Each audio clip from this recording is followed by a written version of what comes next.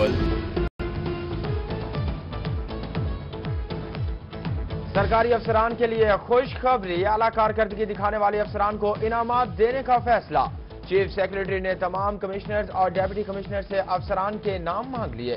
محکمہ S and G A D نے commissioners اور ڈیپٹی کمشنرز کو مراسلہ جاری کر دیا۔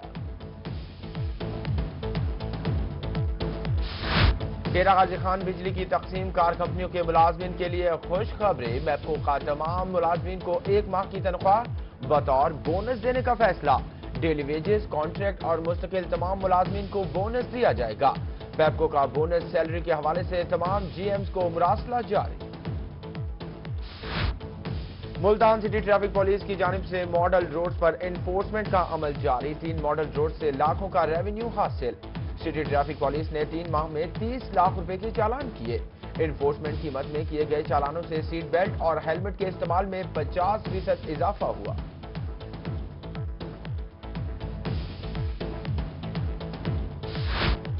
بہاول پور پی ایچ اے کا مینگو پارک بنانے کا فیصلہ، زمین کی خریداری کے لیے ایک کروڑ کے فنڈز مانگ دیے۔ اسسٹنٹ کلیکٹر نے ڈائریکٹر پی ایچ اے کو فنڈز کے لیے خط لکھ دیا۔ ڈی جی خان کی غازی یونیورسٹی میں مستقل وائس چانسلر کی تعیناتی کے لیے طلبہ کا اٹھاونوے روز بھی دھرنا جاری۔ حکومتی نمائندوں کی جانب سے مذاکرات نہ کرنے پر طلبہ حکومت سے نانا مطالبے کی منظوری تک دھرنا جاری رکھنے کا فیصلہ۔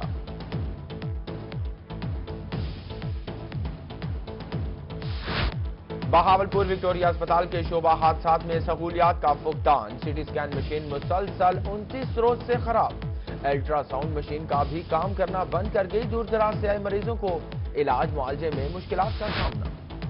راجن پور کے علاقے بچھات کی متعدد واٹر سپلائی اسکیمیں بند۔ علاقہ بگین صاف پانی کو ترس گئے۔ کروڑوں کی لاگت سے تعمیر کی گئی سولر واٹر سپلائی اسکیمیں غیر فعال ہونے سے انسان اور جانور ایک ہی گھاٹ سے سیلابی پانی پینے پر مجبور۔ اسسٹنٹ کمشنر صادق آباد عبد الروف ماہر کا سبزی منڈی کا دورہ. شیخ خرونوش کا معائنہ کیا. اسسٹنٹ کمشنر نے کہا کہ منافع خوروں کو سر اٹھانے کی اجازت نہیں دی جائے گی۔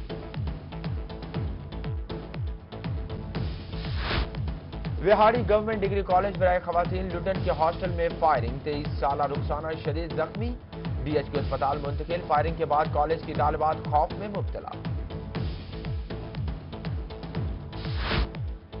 ڈی جی خان تھانہ سیول لائن کے علاقے بلک سرور سٹی میں چوری کی واردات، چور کمپیوٹر شاپ سے ہزاروں کی نقدی لے اڑا۔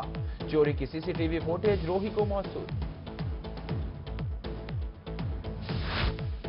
شدید گرمی میں ہیٹ سٹروک کا خطرہ، احتیاط سے بچاؤ ممکن، ڈاکٹروں کا شہریوں کو گھر سے غیر ضروری نہ نکلنے کی ہدایت۔ زیادہ سے زیادہ مشروبات پینے کا مشورہ، ڈاکٹروں نے ہیٹ سٹروک سے متاثر ہونے کی صورت میں فوری ہسپتال جانے کی ہدایت بھی کی۔